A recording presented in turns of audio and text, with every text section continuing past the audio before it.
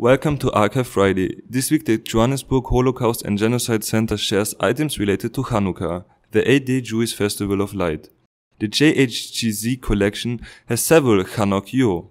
This is a nine-armed candle or oil holder symbolizing the eight nights of the holiday. On each night one more light is lit than the previous one, until on the final night all eight are ignited. The ninth arm holds a candle called the shamash, which means helper or servant, and it is used to light the other ones.